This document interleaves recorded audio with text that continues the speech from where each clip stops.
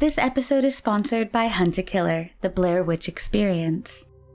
True terror first crossed my path when, as a teenager, I secretly watched The Blair Witch Project with my best friend in the dark of the night in her living room. We experienced our first real fear through the first person perspective of the found footage of the filmmakers. Now you can relive that thrilling suspense in real time combining physical artifacts that you can touch and manipulate with one of the scariest digital experiences I've ever had. Lionsgate has partnered with Hunt a Killer to bring you the immersive and interactive Blair Witch experience. Each season is made up of six boxes or episodes, and each episode is full of realistic evidence, maps, police reports, and more. It's like a horror movie in a box, but you, and any unsuspecting friends or family you choose to bring along, are the main character. This game is sure to keep you up all night, a welcome respite and change of pace during these crazy and unprecedented times. For a little risk taking from the safety of your own living room, see if you can survive the curse of the Blair Witch. Visit huntakiller.com slash Merc and use code MERC for 20% off your first box. Again, make sure to use the promo code MERC for a 20% discount. Robin Brooks was a 20 year old woman who had recently moved to Rosemont, California in 1980. On April 24th of 1980, Robin finished her shift at the Donut Time shop on Kiefer Boulevard and Tally Ho Drive shortly after midnight. She stopped briefly by at a high school party, but left soon after. The last time she was seen alive was when she was walking home to her apartment. The next day, she had a swim date with a friend. Her friend knocked on her apartment door, but no one opened, and she eventually left. However, when Robin failed to show up for work at 4 p.m. at the donut shop, her friends and coworkers went to her apartment and knocked on the door numerous times. When she still didn't answer, they forced the door open, only to find Robin dead in her bedroom. An autopsy revealed that she had been sexually assaulted and stabbed multiple times. The coroner determined that she had died around 2:30 a.m. that morning. There had been no sign of forced entry, and authorities believed that the killer likely left through the window. The police were able to obtain DNA evidence from the crime scene after the killer apparently cut himself during the assault. Despite questioning multiple people, there were no clues and no suspects, so the case grew cold. In 2004, authorities developed a DNA profile of the killer from the DNA sample left at the crime scene. The DNA profile was entered into the Combined DNA Index System, also known as CODIS, but there were no matches. In early 2017, police used DNA phenotyping to determine what the killer might have looked like. The killer was determined to be an African American male in his late 20s or early 30s. A composite sketch was made and distributed, but nothing came up. Then, on April 23rd of 2020, with the help of genetic genealogy, 71-year-old Phillip Lee Wilson was arrested on suspicion of murdering the 20-year-old. Phillip had been living in the same apartment complex as Robin at the time of her murder in 1980. He would have been in his early 30s at the time. He is being held at the Sacramento County Jailhouse without bail, awaiting trial. The murder of Robin Brooks was finally solved after 40 years. Nancy Daugherty, a mother of two, was 38 years old and going through a transitional phase in her hometown of Chisholm, Minnesota. Chisholm is a small city in St. Louis County, and it was where Nancy had raised her daughter, along with her soon to be ex husband, who was stationed in Germany with the Air National Guard. Their daughter had just graduated high school.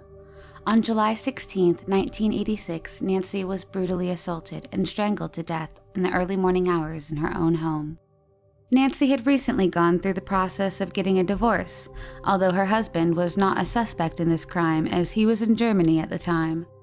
Nancy was also about to start new job training in the Twin Cities the next day.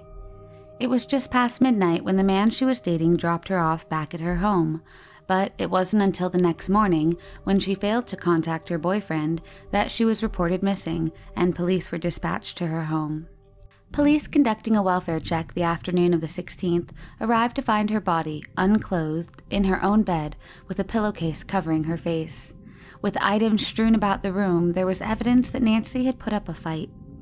multiple samples of male semen was found both on her bed and within the victim, and epithelial cells were found underneath her fingernails. What made the crime scene more difficult to process was that Nancy had recently hosted a graduation party for one of her daughters. Because of that, there were copious amounts of both fingerprints and extra non seminal DNA to sort through, such as epithelial cells and saliva left on rims of eating utensils or cups. However, the location in which the critical evidence was found, the male DNA, was found within and around Nancy's brutalized body, and detectives knew that that made this sample irrefutably the one of the killer. Nancy's friends and family were shocked and skeptical that this could be some random attack, and they encouraged investigators to look at all men in Nancy's life, be it casual or romantic, past or present. In addition to looking for personal connections, police canvassed the neighborhood and spoke with two young ladies who reported hearing some sort of commotion at around 3:30 a.m. One of the girls even remembered a quote call for help, screams, and arguing. While detectives pursued all leads, they were never able to zero in on a suspect. All search efforts were exhausted, though, and all in all, over 100 DNA samples were taken, yet none of them matched the multiple pieces of evidence found on site. The Bureau of Criminal Apprehension, the BCA, submitted Nancy's DNA to Parabon Nano Labs in early 2020 as part of a project to close cold cases using information available from public genealogy databases. Investigators knew it was a long shot, but were pleasantly surprised when Parabon Nano Labs, using the genetic lineage of the DNA sample taken from the crime scene in 1986, was matched to a close association to a local individual in the database. Using these results, Parabon Nano Labs and the BCA were able to zero in on Michael Carbo Jr. as a potential suspect. Just 18 years old at the time of the murder, Michael Carbo Jr. was now a haggard and overweight, balding 52 year old living in a second floor apartment in Chisholm. While investigators had a probable match from the evidence collected in 1986 and the DNA sequences in the public genealogy database, they needed to get a recent sample of the suspect's DNA in order to confirm that this truly was their guy.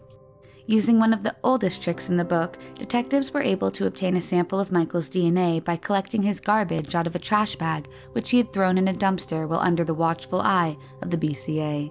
The DNA collected, it does not say what kind exactly, or where, or in what condition, or what material the DNA was in when taken out of the trash bag, was matched to the seminal fluid collected from Nancy's house more than 30 years prior.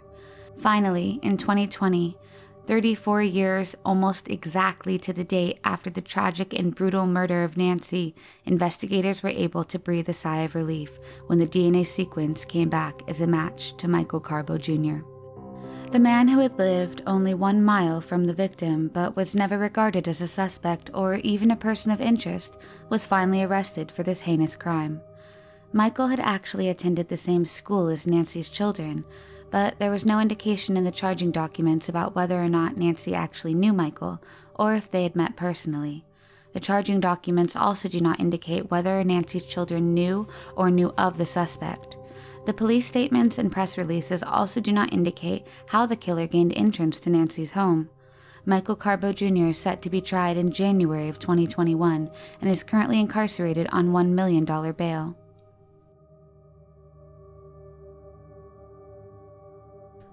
John Mike Crates lived in Aurora, Colorado. In 1992, he would move from Aurora to Helena, Montana, after buying a piece of land along Turk Road in a rural area outside Birdseye, northwest of Helena. Mike was described as a loner who lived with his dogs, who were part wolf, in the home that he had built himself. Mike did, however, make friends with the neighbors, Gloria and Mark Flora, who lived a little down south from him. On June 27, 2011, Gloria and Mark went to Mike's home, but they were unable to find him anywhere. His dogs were running around in the yard. Gloria and Mark immediately noticed something was wrong, as his dogs were never running loose. The next day, after not hearing from Mike, they reported him missing. A massive search began, but nothing would turn up. Police learned that Mike had been in a long running dispute over property access and trespassing with two individuals before he'd gone missing. The first individual that he was in a dispute with was John Mahan. Mike lived at the end of Turk Road, and the main road ran through the property of John Mahan. John claimed that the road belonged to him and that no one had the right to go through it. John would repeatedly seek to harm Mike and his dogs. On numerous occasions, he would drive up to Mike's home when he wasn't around and would terrorize his dogs. There were several instances where John would threaten Mike with a gun. John would also block the Turk Road entrance several times and wouldn't allow Mike to cross it.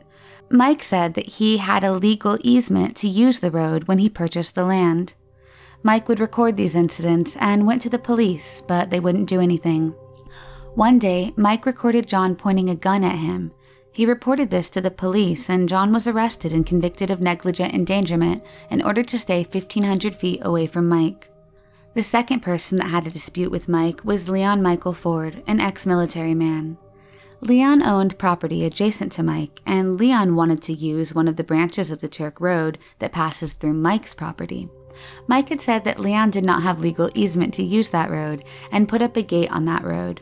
Leon was away in Oak Harbor at the time, and John Mahan had told three people that Leon would take care of Mike after he returns from Oak Harbor.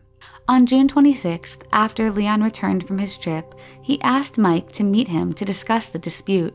Mike called Mark and Gloria and said that he was worried the discussion could end in violence. This was the last time anyone heard from him.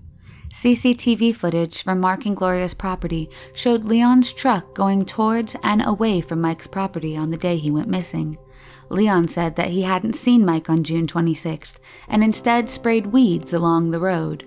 But records show he did not rent a pull behind weed sprayer from Lewis and Clark County Weed District until the next day, on June 27th. Leon changed his story and said he spent June 26th looking for booby traps with a metal detector. Despite this, police did not have enough evidence to charge him with Mike's disappearance. Both John and Leon claimed Mike ran away because of a lawsuit they supposedly filed against him. On October 5, 2011, two Forest Service workers stumbled upon dismembered remains in plastic bags on the side of East MacDonald Pass. In January of 2012, the remains were confirmed to belong to Mike Crates. An autopsy found that Mike died from two gunshot wounds to the head. A few months later, his skull was found several miles away from where his body was discovered. Shortly after, John Mahan was arrested and charged with tampering with evidence after he took down the CCTV cameras that were being used in the investigation. Over the next few years, police kept investigating the case, looking for any clues or evidence. In August of 2020, police arrested and charged Leon Michael Ford with deliberate homicide and tampering with evidence. According to the court documents, the cable ties that were used to wrap the plastic bags containing Mike's remains were of a specific type that were last produced in September of 2011. The ties were only available on special orders and through specific distributors. They found that a contractor had purchased these specific ties while working at the Naval Air Station, Whidbey Island, and Leon and his wife were also working at the base at that time. Records show that Leon had taken some of these ties from a warehouse. However, the records do not list for what project Ford claimed to be using these ties for.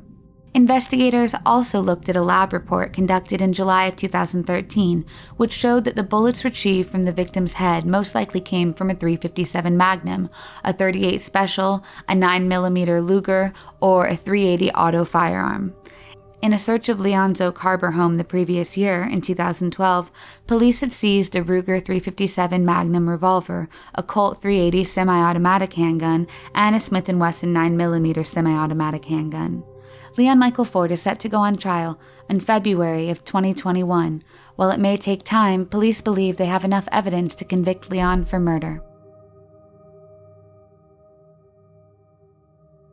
Jessica Baggen was a 17 year old teenager who lived with her parents in the small town of Sitka, Alaska. On May 3, 1996, she went to her sister's house to celebrate her 17th birthday. Jessica left her sister's house at around 1 a.m. to walk back to her home, which was about a mile away.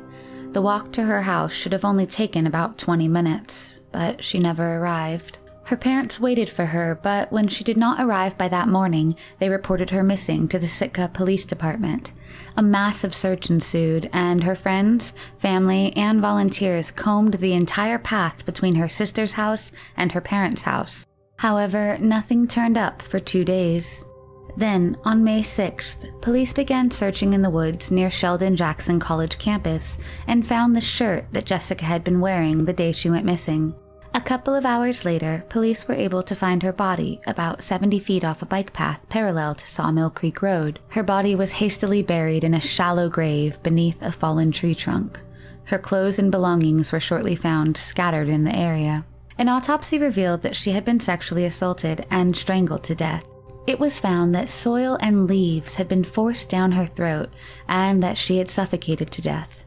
Nine days after her body was found, a man named Richard Bingham, a janitor working at the nearby college, confessed to her murder. Despite having no physical evidence connecting him to the murder, he was charged and put on trial. Richard was a heavy drinker and would have blackouts where he wouldn't remember anything that he did during that time.